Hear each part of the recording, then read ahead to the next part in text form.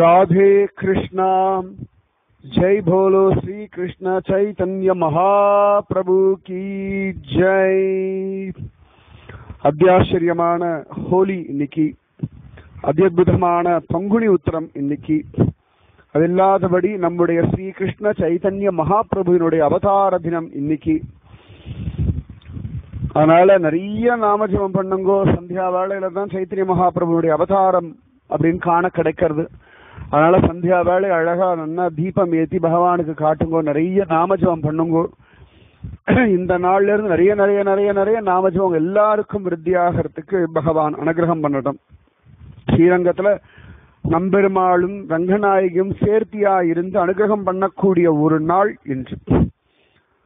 ஹரே ராமா ஹரே ராமா. ராம ராமா ஹரே ஹரே ஹரே கிருஷ்ணா ஹரே கிருஷ்ணா கிருஷ்ண கிருஷ்ணா ஹரே ஹரே ஹரே ராமா ஹரே ராமா ராம ராமா ஹரே ஹரே ஹரே கிருஷ்ணா ஹரே கிருஷ்ணா கிருஷ்ண கிருஷ்ணா ஹரே ஹரே ஹரே ராமா ஹரே ராமா ராம ராமா ஹரே ஹரே हरे Krishna, हरे Krishna, Krishna Krishna, Hare Hare. जय भोलो श्री कृष्ण चैतन्य महाप्रभु की जय।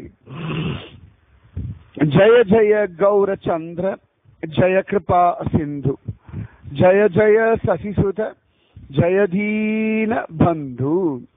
ஆச்சரியமான ஸ்ரீகிருஷ்ண சைத்தன்ய மகாபிரபுனுடைய அழகான அவதார தினம்.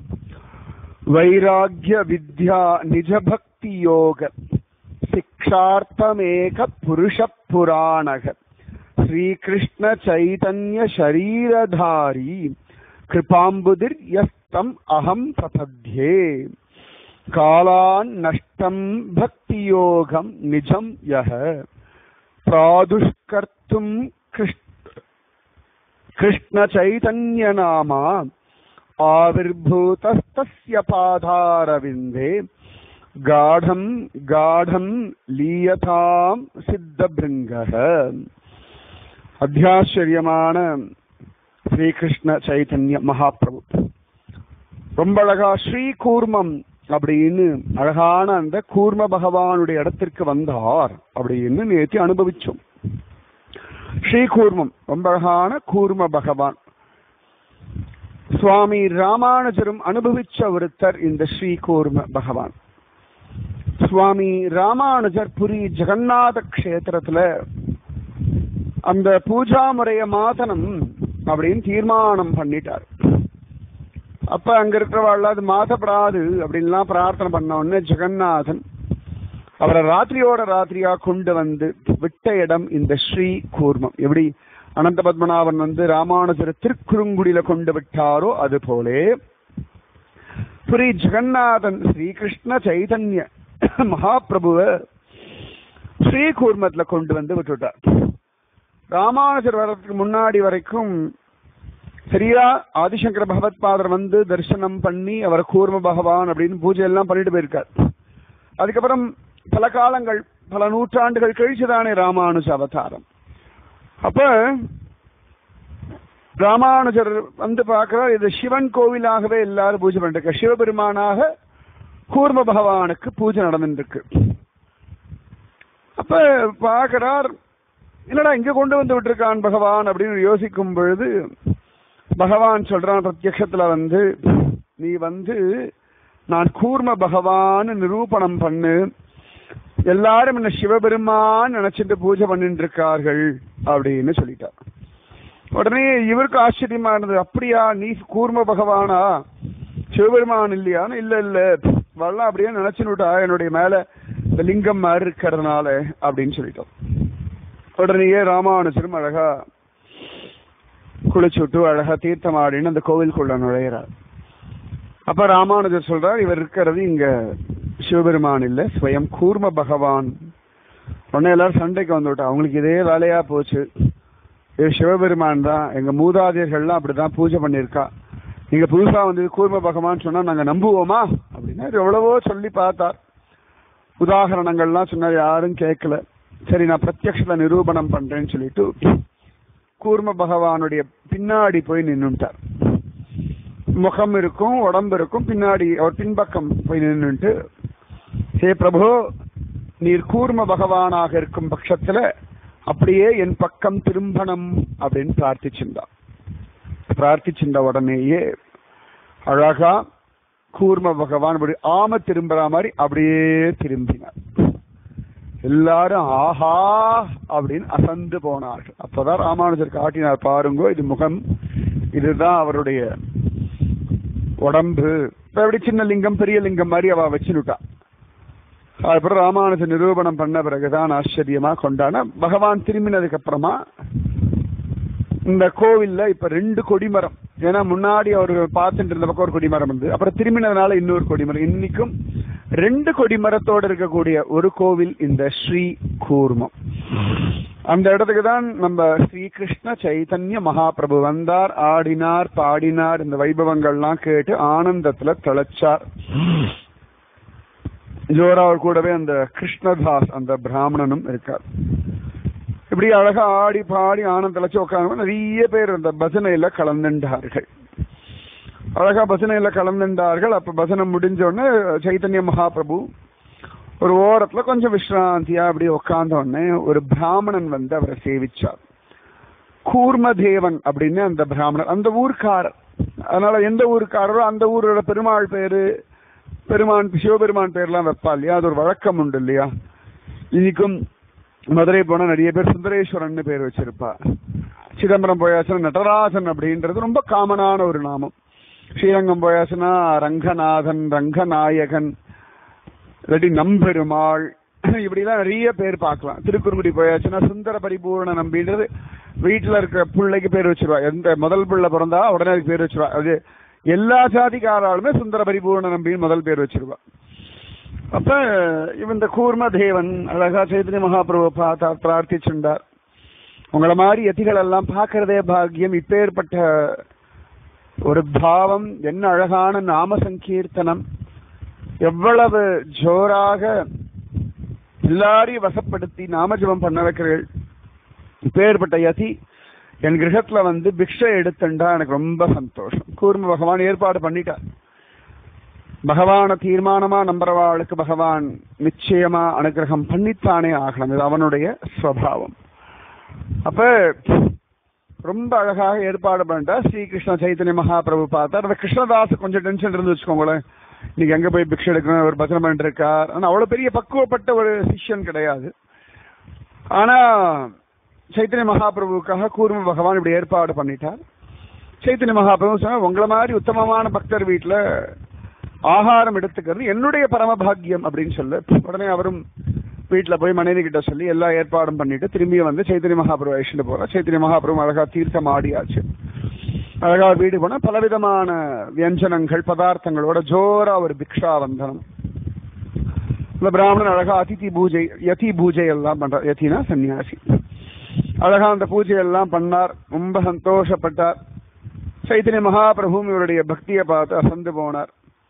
அழகா சாப்பிட்டார். அப்படி விஸ்ராந்தியா இருந்தார்.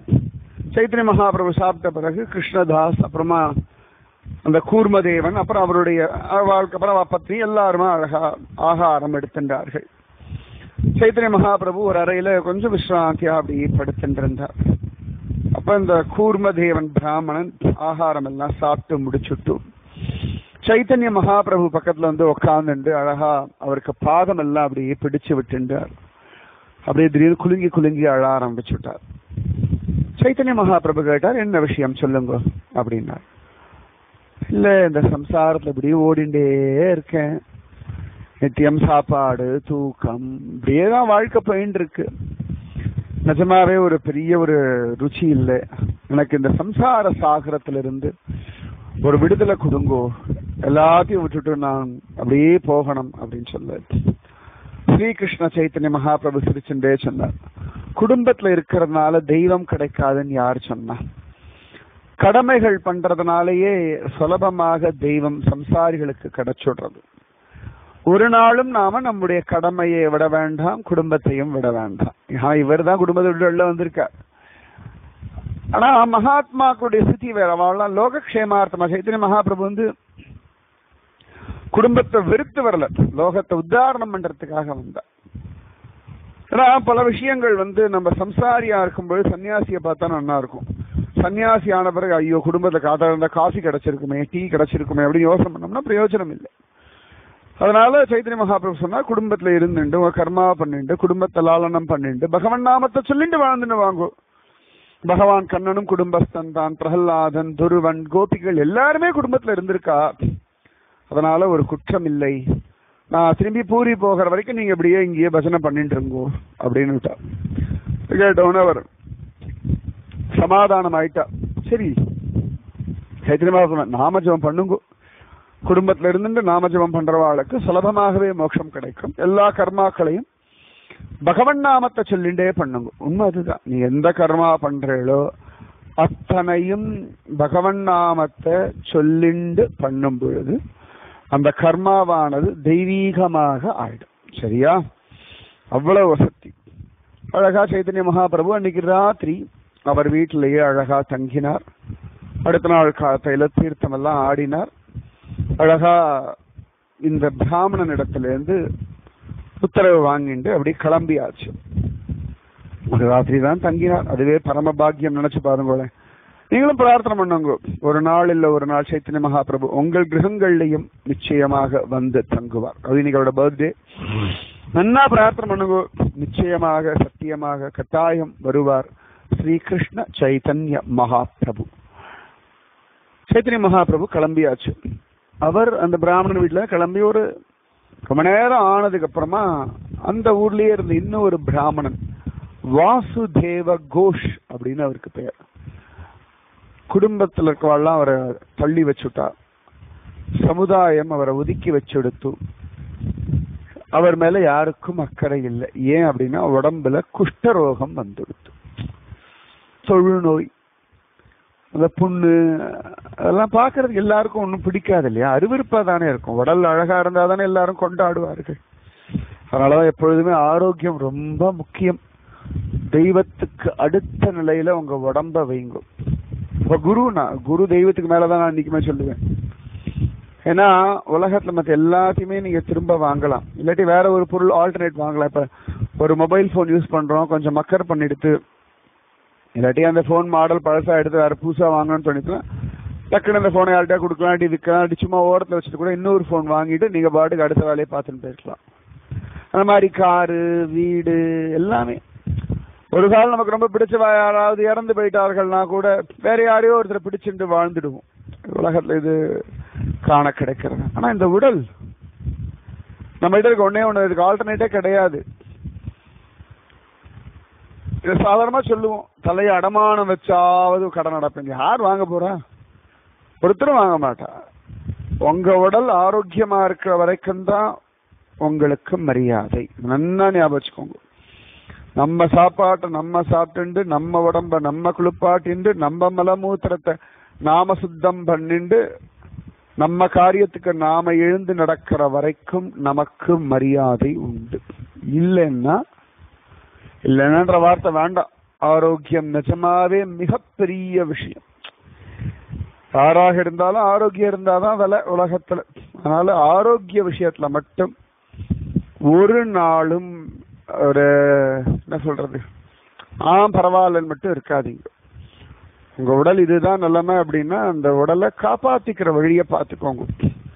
எந்த மருந்து சாப்பிடணும் என்ன டயட் சாப்பிடணும் இல்லாட்டி என்ன எக்ஸசைஸ் பண்ணணும். உடல் ரொம்ப முக்கியம். இப்ப உடல் இல்லைன்னா நான் எப்படி சைத்தன்ய மகாபிரபு சொல்லுவேன்? அப்படியே சொன்னாலும் எத்தனை பேர் கேட்பேன்? உடல்னு ஒன்று இருக்கிறதுனால உங்களுக்கு காதுன்னு ஒன்று இருக்கிறதுனால இப்ப நான் சொல்றேன் கேட்கறேன். இந்த உடல்ல இருக்கிறதுனால சைத்தன்ய மகாபிரபு பிறந்த நாள் அன்னைக்கு நம்ம வாழறோம். இந்த இடங்கள் பத்திலாம் கேட்கும் பொழுது சரி போகலாம்னு ஒரு ஆசை பண்றது ஏன் உடம்பு இருக்கிறதுனால நான் யோசனை பண்ணி பாருங்களேன். இப்ப நம்ம ஒரு கோவிலுக்கு போறோம் அப்படின்னா நாம இந்த உடலோட இருக்கிறதுனால தானே கோவிலுக்குள்ள நம்மள விடுறார்கள். பகவானுடைய பிரசாதம் கொடுக்கிறார்கள் ஹோலி கொண்டாடுறோம்.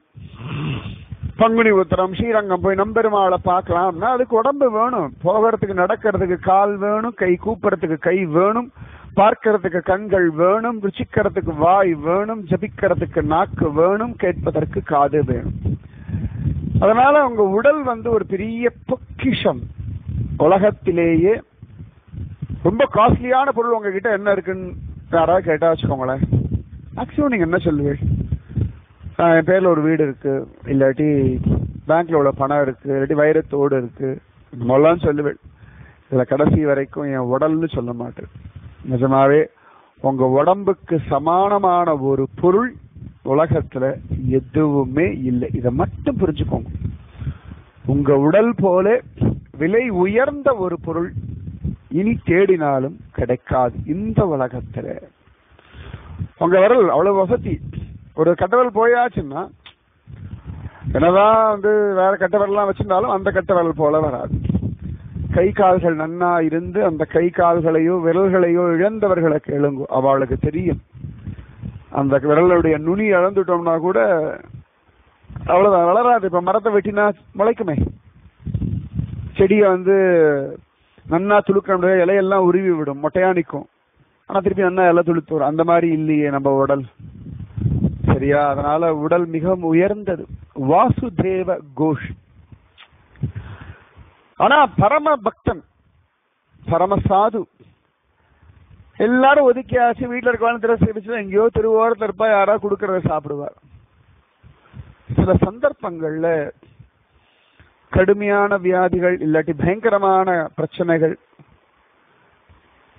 நம்பவே முடியாத சூழ்நிலைகள் நமக்கு வாழ்க்கையின் யதார்த்தத்தையும் மற்றவாளுடைய சுயரூபத்தையும் புரிய வச்சு நமக்கு தெய்வத்தை காட்டி கொடுக்கும். இன்னைக்கு வரைக்கும் பாருங்க உங்க வாழ்க்கையுடைய கடினமான காலங்கள் பயங்கரமான சம்பவங்கள் எல்லாமே உங்களுக்கு உங்களை தெய்வத்தின் பக்கம் அழிச்சுட்டு போயிருக்கு. இதுதான் உண்மை. இப்ப ஒரு பத்து மாடி ஏறணும்னு வச்சுக்கோங்களேன். மேல் மூச்சு இறைக்கும். அதே ஒரு லிப்ட்ல ஏறியாச்சுன்னா சர்ன்னு போயிடுவோம். வேகமாகவும் போயிடுவோம். ரொம்ப சிரமம் இல்லாமலும் போயிடுவோம். அதே மாதிரிதான். இந்த கடினமான சூழ்நிலைகள் பயங்கரமான பிரச்சனைகள் இதெல்லாம் லிஃப்ட் மாதிரி இந்த பத்து மாடியை சல்லுன்னு கொண்டு விட்டணும் நிஜமாவே பகவானை ஈஸியாக அடைவதற்கான குறுக்கு வழிகள் தான் இதெல்லாம். வாசுதேவ கோஷ். யதார்த்தம் புரிஞ்சு கொடுத்து சின்ன வயசுக்காரர் தான் வயசானவர்லாம் ஒன்றும் கிடையாது. அவர் எங்கேயாவது சாதுக்கள்லாம் வந்திருக்கா அப்படின்னு கேட்டாருன்னா தூரத்துலேருந்து அவளை பார்ப்பார் தரிசனம் பண்ணுவார் நமஸ்காரம் பண்ணுவார். யார் பக்கத்துலயும் போக மாட்டார். ஏன்னா உடம்பெல்லாம் புண்ணா இருக்கு தொழு நோயின்றதுனால யாருக்கும் கஷ்டம் வேண்டாம் அப்படி. அவர் ஊர்ல வந்து எல்லாரும் அந்த ஸ்ரீகூர்மத்துல நடந்த பஜனை நாம சங்கீதத்தை பத்தி தான் பேசணும்னு அப்ப எல்லாரும் பேசிட்டு இருக்கா அப்பேர் ஐயோ நான் பார்க்கலையே. நீங்க நம்ம அந்த இவர் இருக்காரு இல்லையா? ஸ்ரீ கூர்ம தேவன் அந்த பிராமணர் இருக்காரோன்னு அவர் வீட்டுக்கு போனா பார்த்துடலாம் அப்படின்னு சொல்லி பல பேர் போகிறாங்கன்னா சரி இவரும் பார்க்கலாம்.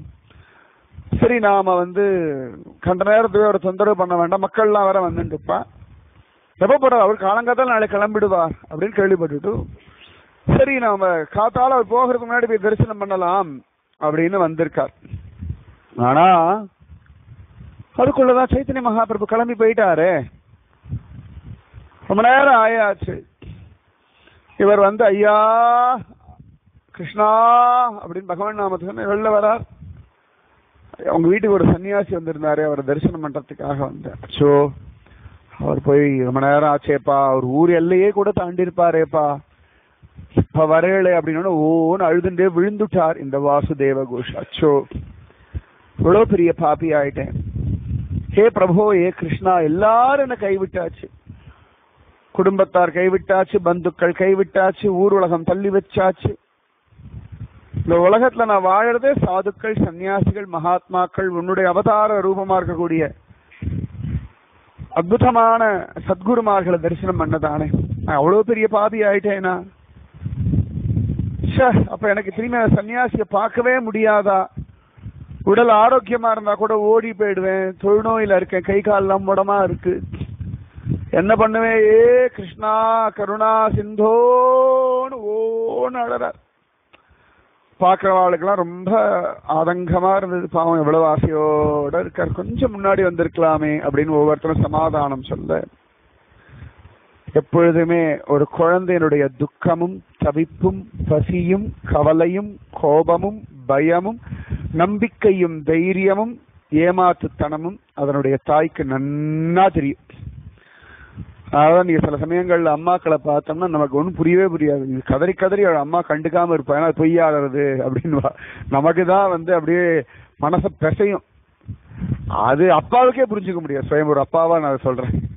குழந்தையோட அழுகையெல்லாம் பார்த்தா ஐயோ அழறது என்ன? சும்மா நடிப்பு அப்படின்னுடுவா அம்மா. அது உலகத்தினுடைய இயற்கை தானே. இது என்ன உலக இயற்கையோ? ஒரு தாய் அறியாத ஒரு குழந்தைய உலகத்துல வேற யார் அறிய முடியும்? அறிய முடியும். யாருன்னா குருநாதர் அறிய முடியும். அவ்வளவுதான்.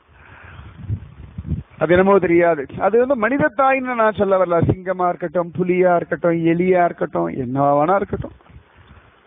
ஒரு தாய் நிஜமாவே விசேஷம்தான். அப்ப இந்த வாசுதேவ கோஷ் குழந்த மாதிரி ஓன்னு அழறார் என்னமோ தெரியல சைத்தன்ய மகாபிரபு ஊர் எல்லைக்கு போனவருக்கு என்னமோ மனசு கேட்கல. இல்ல நான் இப்ப போக வேண்டாம். ஏதோ ஒரு ஜீவனுக்கு நான் அனுகிரகம் பண்ணணும்னு சொல்லி என்னமோ தெரியல வேகமா திரும்பி வந்தார். கிருஷ்ணதாஸ்க்கு ஒண்ணும் புரியல. பிரபோ இப்படி போக கூடாது நம்ம வந்த வழி அது இப்படி போனோம் இல்ல இல்ல வா வா அப்படின்னு வேகமா நடக்கிறார். கிருஷ்ணதாசருக்கு ஒன்றும் புரியல. உடனே அவரும் பின்னாடியே ஓடி ஓடி வர சைத்தன்ய வேகமா நடந்து வரார். கம்பீரியமாக. நிஜமாவே நான் ஒரு சிஷ்யனாகவும் சொல்றேன் குருவாகவும் சொல்றேன். சிஷ்யாளுடைய அந்த மகோன்னதமான பக்தி அந்த நாமஜபம் அந்த தாபம் குருவை அப்படியே இழுக்கும். நான் சிஷ்யனா பல சந்தர்ப்பங்கள்ல இதை உணர்ந்துட்டு அனுபவிச்சுட்டு நான் சொல்றேன். அதே சந்தர்ப்பத்தில் ஒரு குருவாகவும் இதை நான் உணர்ந்து அனுபவிச்சுட்டு சொல்றேன். எத்தனையோ சந்தர்ப்பங்கள்ல குருஜி அம்மாவுடைய அனுகிரகம் எனக்கு அப்படியே கிடைச்சிருக்கு. நான் நினைப்பேன் அதை நடத்தி கொடுப்பா குருஜி அது நினைப்பேன்னா லௌகிகமான விஷயங்கள்லாம் கிடையாது. குருஜி அம்மா பார்க்கணும் நினைப்பேன். என்னோட ஒரு அனுபவத்தை நான் சொல்றேனே. நான் வந்து குருஜி அம்மா சனிக்கிழமை சனிக்கிழமை பஜனை பண்ணுவேன் அப்பெல்லாம் நான் ஃபர்ஸ்ட் ஷிஃப்ட்டுக்கு போவேன் என்னோட ஒர்க் ஆஃபீஸில் போகும்பொழுது எனக்கு சனிக்கிழமை மட்டும் அந்த பஜனையை அட்டன் பண்ணணும்னு ஆசையாக இருக்கும். அது ஒரு மணி நேரம் தான் ஒரு மணி நேரம் தான் லஞ்ச் பீரியட் எங்களுக்கு இருக்கும். இல்லாட்டி அரை மணி நேரம் முப்பது நிமிஷம் அப்படி இருக்கும் வச்சுக்கோங்களேன். அப்போ சரி என்ன பண்ணலாம் அப்படின்னு யோசனை பண்ணா அப்போ நான் காதால் சமயத்தில் டிஃபன் எடுத்துன்னு போக மாட்டேன். எங்கள் அம்மாவுக்கு லேட்டாக சீக்கிரம் எழுந்துக்க கஷ்டமாக இருக்கும்னு சொல்லிட்டு அம்மா கிட்ட வேண்டான்ட்டு வேணா பஜனை சாக்கு வச்சுட்டு. ஸோ ஆறுலேருந்து பதினோரு மணி வரைக்கும் அப்படியே ஓட்டிகிட்டே வருவேன். கரெக்டாக ஒரு பதினோரு மணிக்கு கிளம்புவேன். குருஜி அம்மா வீட்டுக்கு வர்றது பதினஞ்சு நிமிஷம் ஆகும். மாடம்பாக்கத்தில் என்னோட ஃபேக்ட்ரி இருந்தபோது வருவேன். திருப்பியும் போகிறது பதினஞ்சு நிமிஷம் நடுவில் ஒரு இருபது நிமிஷம். ஸோ அந்த ஒன் ஹவர் கேப்புக்குள்ள பஜனையோடைய நடுவு பாகத்துக்கு நான் வருவேன். அதில் சில பாட்டுலாம் எனக்கு ரொம்ப பிடிக்கும். அந்த பாட்டெலாம் அம்மா பாடும்போது கேட்கணும்னு ரொம்ப ஆசையாக இருக்கும். அப்புறம் நினச்சிப்பேன் இல்லை இந்த இந்த சமயத்தில் இன்னைக்கு இந்த பாட்டெலாம் பாடி முடிச்சிருப்பா. நமக்கு அந்த பாட்டெலாம் நீ கிடைக்காது. ஏன்னா எந்த பாட்டு யார் எப்படி பாடுவான்னு தெரியாது. குருஜி அம்மா குருஜி அம்மா பாட்டு தான் பாடுவோம். அப்பொழுது ஆரம்ப பாட்டு வர வேண்டும் வர வேண்டும் வர வேண்டும் கண்ணா. அதுக்கப்புறம்லாம் யார் யாருக்கு என்ன பிடிக்கிறதோ அது பாடுவா. இல்லை குருஜி அம்மா என்ன சங்கல்பம் மாறதோ பாடுவா. எல்லாம் குருஜி அம்மா பாட்டையும் ஒவ்வொருத்தரும் பாடுவா. ஸோ சில பாட்டுல சில பேருக்கு ஃபேவரட் அவ்வளவுதான். இந்த எண்ணறு மருந்தேன்னு ஒன்று உண்டு அப்புறம் கிங்கினி நாதத்துடன் மல்லிகை மலருமா சில பாட்டுலாம் ஒவ்வொருத்தரும் ஃபேவரட் எனக்கு சில பாட்டுலாம் ஃபேவரட்டா இருக்கும். அப்ப நினைச்சுப்பேன் குருஜிமா ப்ளீஸ் இந்த பாட்டு மட்டும் நான் தானே பாடுங்க மனசுல நினைச்சுப்பேன். ஸோ நான் போவேன் கரெக்டா நான் போனா உட்காரம் குருஜிமா சிரிப்பு சிரிப்பா. சிரிச்சுட்டு முக்காசி அந்த மல்லிகை மலர் மாலை ரொம்ப பிடிக்கும். ஒரு ஒரு காலகட்டத்தில். நான் அப்படி போய் உட்காருவேன் டென்ஷனாக உட்காந்துவேன் மல்லிகை மலர் மாலை பாட்டு முடிஞ்சுட்டா பாடிருப்பாளா? சரி பரவாயில்ல அப்படின்னு உட்காந்த உடனே குருஜிமா மல்லிகை மலரும் மாலை வாராய் கண்ணா அப்படின்னு நிஜமாவே அந்த கூஸ் பம்ப்ஸ் அப்படின்னு இல்லையா? மயிர்கால்கள் குத்திண்டு கண்கள்ல கண்ணீர் வழிய ரொம்ப ஆச்சரியமா இருக்கும். அப்படியே ஆய் அப்படின்னு இருக்கும் நிஜமாவே. அப்புறமா குருஜிமா சாயங்காலம் திருப்பி நான் ஷிஃப்ட் எல்லாம் முடிஞ்சு போனேன். ஏன்டா பயல காலை பிடிச்சி ஒரு திருப்பி திருவா உனக்கு மல்லிகை மலர் மாலை பாட்டு பிடிக்கும்னா நீ பஜனையோட ஆரம்பத்துல இருந்து உட்காரணும் நீ வரும்போது நான் பாடணும்னு நினைக்கிறது சரியில்லை. தெரிஞ்சுதா? அப்படின்னு அது ஒரு ஜாலி. அது அதான் இந்த மாதிரி பல சந்தர்ப்பங்கள்ல. சில சந்தர்ப்பங்கள்ல எனக்கு ஏதோ ஆபீஸ்ல ஃபேக்டரியில வேலை இருக்கும் லேட் ஆயிடும் வர்றதுக்கு. கடைசி ஒரு பத்து நிமிஷத்துல வருவேன். என்னடா இது? அடடா இன்னைக்கு எல்லா பாட்டும் முடிஞ்சிருக்க போறது அப்படின்னு நினைச்சுட்டு வருவேன். கரெக்டா அன்னைக்குன்னு பார்த்து அந்த ஏதோ ஒரு பாட்டு எனக்கு பிடிச்சதா இருக்கும். என்ன மருந்தேவோ இல்லாட்டி ஏதோ ஒன்று அந்த சுச்சுவேஷன் சாங் மாதிரி வச்சுக்கோங்களேன். அன்னைக்கு தான் ஆபீஸ் ஒரே டென்ஷனா இருந்தா என்ன மருந்தே பாடிந்தே வருவேன். இன்னைக்கு அம்மா கிட்ட உட்காந்து பதினா முடிஞ்சாலும் பரவாயில்ல ரெண்டு நிமிஷம் அம்மாவை பாட சொல்லி கேட்கணும்னு கடனை போய் உட்காருவேன் குருஜி ஆரம்பிப்பா என்னாரு மருந்தே அப்படின்னு ஆரம்பிப்பா. இல்லைன்னா நான் உள்ள நுழைவேன் என்னை நீ காப்பாற்று அந்த வார்த்தை வரும். உடனே ஆஹா பகவான் நம்மளை காப்பாத்திடுவான். நிஜமாவே அது ஒரு ஆனந்த அனுபவங்கள். அதே போலதான். சைத்தன்ய மகாபிரபு ஓடி ஓடி வரார். திடீர்னு பார்த்தார் அந்த கூர்மதேவன். அதோ வாசுதேவரே உம்முடைய பக்தி சத்தியம் தோ வந்தாச்சு அத்தின்னு பார்க்கிறார். அதிரூப சுந்தரனாக காம்பீரியமாக ஒரு நட நடந்து ஸ்ரீகிருஷ்ண சைத்தன்ய மகாபிரபு அப்படி வரார். நல்லா பிரார்த்தனை பண்ணுங்க. ஒரு நாள் சொப்பனத்திலேயாவது சைத்தன்ய மகாபிரபு அப்படி நடந்து வர ஒரு அழகை நீங்க பார்த்தே ஆகணும். அழகா அப்படி வந்தார். இப்படி கை அப்படி ரெண்டு கையை ஆலிங்கனம் பண்ற மாதிரி விரிச்சுண்டு வரார். வாசுதேவ கோஷ் பார்த்தார் அப்படி சேரிக்கிறார். ஆஹா அஹோபாகியம் அஹோபாகியம்னு சைத்தன்யம் ஓடி வர கட்டிக்கணும். இவர் ஓடுறார். பிரபோ என்ன தொடாதீங்கோ உடம்பெல்லாம் புண்ணா இருக்கு சீழ் வடியறது நான் ஒரு குஷ்டரோகி. எல்லாரும் என்ன தள்ளி வச்சுட்டா என் உடம்பை யாரும் தொடமாட்டார்கள். உங்க உடம்போ தங்கம் போல ஜொலிக்கிறனால கௌர்ஹரி அப்படின்னு பேர். அதனால இன்னைக்கு வந்து கௌர பூர்ணிமா அப்படின்னு பேரு. கௌரஹரி அவதாரம் பண்ண பூர்ணிமா இல்ல கௌர பூர்ணிமா அப்படின்னு சொல்லுவார்கள். அப்ப இந்த தொட வேண்டாம் அப்படின்னு உடனே இல்ல நீ உத்தமமான பக்தன்னு சொல்லி ஓடி வந்து இவர் ஓட இவர் ஓட முடியல வேகமா. சைத்தன்ய மகாபிரபு காம்பீரியம் இள வயசு வந்து இறுக்கி ஆலிங்கனம் பண்ணிட்டார். எல்லாரும் என்ன பண்றதுன்னு தெரியல. எல்லார் கண்கள்லயும் கண்ணீர். அப்ப இந்த வாசுதேவ கோஷ் பிரபோ இந்த காருண்யம் எனக்கு தாங்காது வேண்டா அப்படின்னு சொல்லி கீழே விழுந்தார் மூர்ச்சையாய். ஒரு கொஞ்ச நேரத்துல அப்படி முழிச்சு பார்த்தார். உடம்புல ஒரு புது தெம்பு டக்குன்னு அப்படி எழுந்து நின்னார். அப்பதான் பாக்குறார் இவர் உடம்புல இருந்த குஷ்டரோகம் எல்லாம் கம்ப்ளீட்டா சரியாயி புடம் போட்ட தங்கம் போல மேனி ஜொலிச்சு. சைத்தன்ய மகாபிரபுனுடைய ஸ்பர்சத்துல இவருடைய வியாதி பரிபூரணமாக சரியாயிற்று. நடக்குமான்னா நிச்சயமா நடக்கும். எத்தனையோ மகாத்மாக்கள் அந்த மாதிரி எவ்வளவோ பேருடைய வியாதிய தன்னுடைய கண் பார்வையினால ஆசிர்வாதத்தினால பிரார்த்தனையினால வார்த்தைகள்னால மாத்தியிருக்கார்கள். எனக்கு தெரியும். நேரடியா பார்த்திருக்கேன்.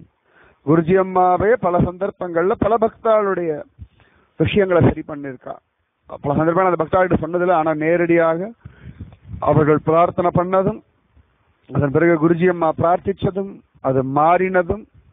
சில பேர் நான் பார்த்துருக்கேன். இன்னைக்கு ரொம்ப நிறைய குருஜி அம்மா வந்துருக்கு எனக்கு. சில பேருக்குலாம் ரொம்ப கிரிட்டிக்கலான ஆப்ரேஷனா இருக்கும். அம்மாட்ட சொல்லிட்டு போயிடுவா. அம்மா அப்படியே திடீர்னு சமயத்தில் பேசாம இருப்பா. என்னம்மா என்னம்மாங்க? அப்படின்வா அவ்வளவுதான். அம்மா பாட்டுக்கு உட்காந்து இப்படி ஒரு ஓரத்துல உட்காந்துருவா அம்மா ஜெபிக்கிறான்னு கூட கண்டுபிடிக்கவே முடியாது. இப்படியே உட்காந்துட்டு இருப்பா ஒண்ணுமே வாய் முணுமுணுக்க மாட்டா ஒண்ணுமே பண்ண மாட்டார்கள். கொஞ்ச நேரம் கழிச்சு கொஞ்சம் தீர்த்தம் கொடுறா அப்படின்வா ஆ சரி முதல்ல எல்லாம் புரியல. அப்புறம் என்னம்மா என்ன இல்லடா அவன் இன்னைக்கு ஆப்ரேஷன் சொன்னா இல்லையா? அங்க உட்காந்து அழுதுன்னு இருக்கா பயப்படுறதுக்கு ஒன்றும் இல்லை. அதனால சமாதானப்படுத்தேன் நான் உட்காந்து நாமஜபம் பண்ணேன். இப்போ ஆப்ரேஷன் முடிஞ்சிருக்கும். உன்னை அபாய கட்டம்லாம் தாண்டியாச்சு. அதெல்லாம் தண்ணி குடிக்கணும் அப்படின்னு அதுக்கப்புறம் நான் சரி கேட்டு வச்சுப்பேன். முதல்ல தான் நம்மள வச்சுக்கோங்களேன். அடிச்சு விடுறா நம்மள ஏமாத்துறதுக்கு. நம்மளை குழப்பறதுக்கு பண்றா அப்படின்னு நினைச்சிட்டு இருந்தேன். ஆனா அதன் பிறகு அவர்கள்லாம் வந்து சொல்லுவா அந்த நேரம் நான் உங்களையே தான் நினைச்சிட்டு இருந்தேன். ரொம்ப கஷ்டமா தான் இருந்தது. ஆனாலும் ஒரு திடீர்னு நம்பிக்கை எனக்கு வந்தது. நானும் நாமஜபம் பண்ணேன். மாறிச்சு. குருஜி மேன ஒரு ஓரக்கண்ணில் பார்த்து ஒரு சிரிப்பு சிரிப்பார். நான் போய் சொல்லலடா அப்படின்ற மாதிரி. நிஜமாவே எத்தனை பரீட்சை தெரியுமா பண்ணி பார்த்திருக்கேன். ஆனா அத்தனையும் தாண்டி இன்னைக்கு என்ன சைத்தன்ய மகாபிரபு சரித்திரத்தை சொல்ல வச்சிருக்கார்கள். குருஜி அம்மா. மகாத்மாக்கள் என்றுமே மகாத்மாக்கள் தான். வாசுதேவ கோஷ் அப்படி ஜம்னு சரியான. இன்னைக்கு ரொம்ப சந்தோஷம். எனக்கு என்னன்னா கௌர் பூர்ணிமா அன்னைக்கு சைத்தன்ய மகாபிரபுவோட சேர்ந்து என் குருஜி அம்மாவுடைய வைபவத்தையும் சேர்த்து சொல்ற ஒரு அழகான ஒரு பாக்யம் சோ நிஜமாவே உங்களுடைய வியாதி உங்களுடைய பிரச்சனை உங்களுடைய கவலைகள் எல்லாத்தையுமே குருஜி அம்மா கேட்டுன்னு இருக்கா சைத்தன்ய மகாபிரபு கேட்டுன்னு நாம நாமஜபம் பண்ணுங்கோ மாறியே தீரும் நான் அது வந்து இப்போ இன்னைக்கு நான் மணி இப்போ ரெண்டு ஐம்பது நான் ரெக்கார்ட் பண்றேன் இப்போ மூணு மணிக்கெல்லாம் போட்டுடுவேன் எதுக்குன்னா சாயங்காலம் நீங்கள் உட்காந்து நாமஜபம் பண்ணுங்க ஒரு கால் யாராவது லேட்டாக கேட்டாலும் பரவாயில்ல கொஞ்ச நேரமாவது உட்காந்து நாமஜபம் பண்ணுங்க மனசால பிரார்த்தனை பண்ணுங்க எல்லாம் மாறும் புதியதான ஒரு வாழ்க்கை புதியதான ஒரு மாற்றம் நம்பெருமாள் ரங்கநாயகி அனுகிரகத்தோட சைத்தன்ய மகாபிரபு கிருபையோட இன்று முதல் ஆரம்பமாகட்டும்.